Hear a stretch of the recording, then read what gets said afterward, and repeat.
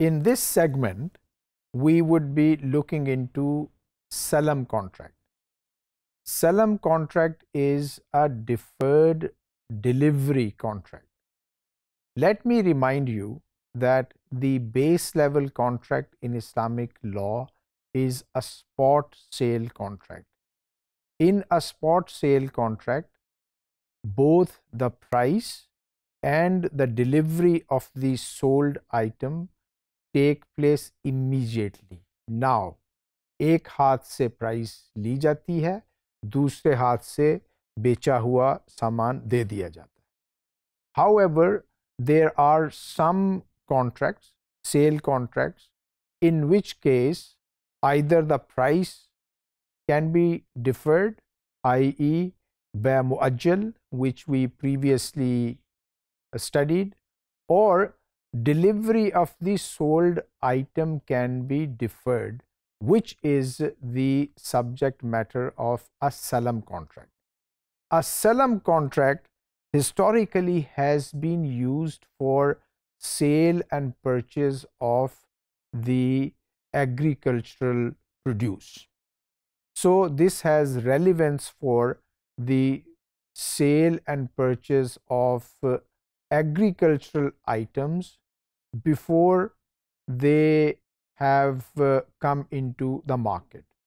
It must be emphasized that in case of salam, the produce of a specific field कि इस एकड़ से जो प्रोड्यूस होगी ये सलम पे बेची जा रही है ऐसा मुमकिन नहीं the goods and uh, the, the goods which are sold on the salam basis they should be gen generic in nature now for the seller in case of farming for example salam is a tool for generating liquidity farmers को normally पैसों की ज़रूरत होती है तो वो wheat rice whatever they expect to have in future they can sell it uh, through a salam contract इसी तरह बायर का भी इंसेंटिव है। Buyer may be interested in buying on the basis of सलम because they want to make sure that they have adequate supply of that item in their business एक और चीज़ जो कि इंपॉर्टेंट है, वो ये है कि सलम price is normally less than the current market price of the item In case of Bay Muajjal, it was the other way around. In case of a deferred price, it is normally the case that the deferred price is higher than the current market price. In case of a salam contract, the salam price is normally lower than the current market price because it allows this, the seller to have some kind of liquidity i.e. उसे अभी पैसे मिल जाते हैं। तो सलम, मैंने जो पहले भी कहा था कि ये जेनेरिकली इस्तेमाल हो सकती है। मैं ये नहीं किसी को कह सकता कि ये आइटम मैं आपको सलम बेसिस पे बेचूँगा या बेच रहा हूँ।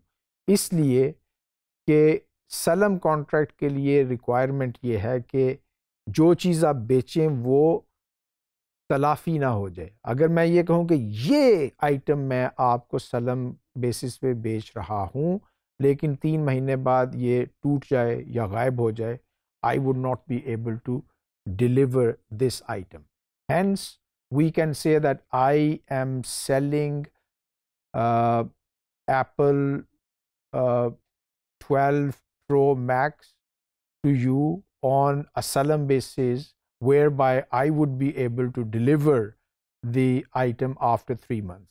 But I cannot say that I'm selling you this Apple 12 Pro Max because this is not accepted in Islamic law. Now, Another question which is uh, important, sometimes people say that salam may be a forward sale contract. I must clarify that in Islamic law there is no recognition of a forward sale contract. Why?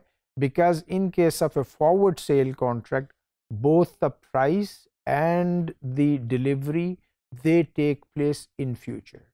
In Islamic law, in general, one of the two things can be delayed, either the price or the delivery, not both.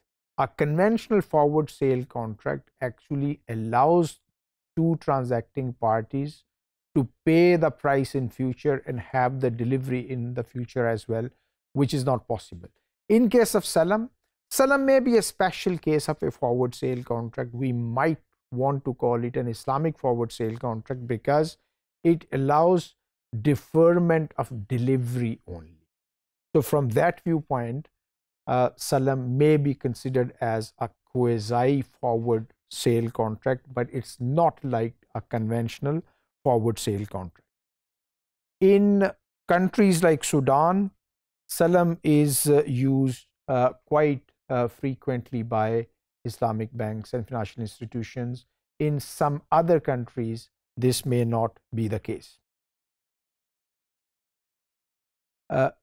आखिर में फिर ये मैं बात बताना चाहूँगा in case of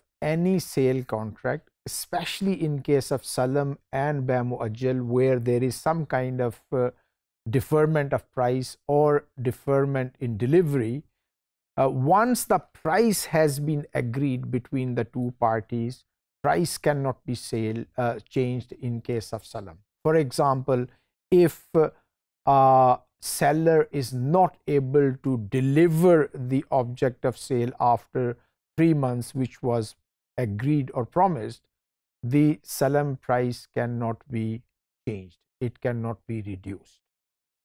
So this is important to understand that once the terms and conditions of a sale contract are agreed, especially the price, it is not possible for any party to unilaterally change the price of uh, the object of sale depending on the circumstances. With this one, I would like to conclude this segment on Salam sale.